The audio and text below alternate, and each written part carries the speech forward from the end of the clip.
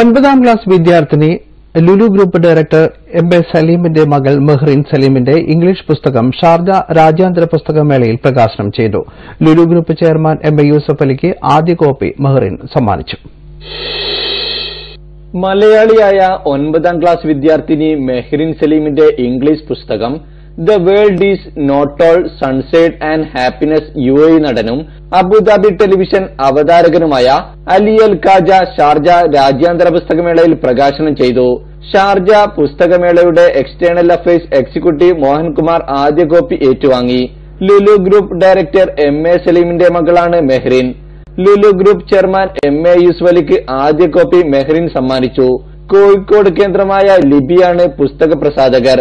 M A Saleem സഹോദരൻ Rizwan Saleem K P Abdul Saheer Libi Akbar എന്നിവർ സംബന്ധിച്ചു പുസ്തകത്തെ പറ്റി മെഹ്റിൻ സലീം പറയുന്നു Yeah, I'm really excited today. I, I I feel this rush of adrenaline. I'm so excited for this.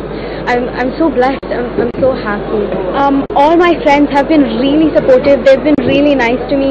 They've been congratulating me, and I'm really thankful for that. My parents parents have been the most supportive. My dad especially, and my sisters and my brother.